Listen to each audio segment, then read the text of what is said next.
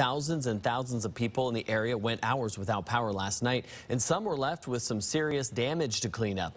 Our Mayor Kawash is live tonight with the aftermath. Mayor? Yeah, as power is slowly turning back on in the area while it's been out since last night, but some residents in the area have even bigger problems than that.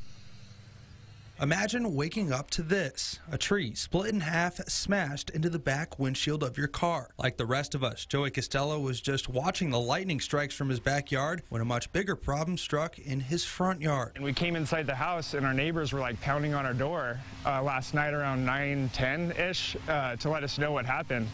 And uh, we came out and we were just shocked to see this. No one was injured and no homes were damaged, but crews spent most of today cleaning along South Latawah and East 27th Avenue. Power line on that street also went down in the storm, but Costello says he and his neighbors never lost power. He did say his car is likely totaled, but he's just glad no one was hurt. My first thought was no one got hurt, so that was great. It's just a car, you know, you could always just fix it. it thankfully, insurance exists. It was a similar story across town as thousands were left without power, including Rosauers. The grocery store was forced to open a little later this morning after not having power for about 10 hours. The manager says some perishable foods like dairy and fresh veggies were lost because of it. And right across the street, some residents even saw a fire from the storm. We heard a big boom, and it was a transformer that blew.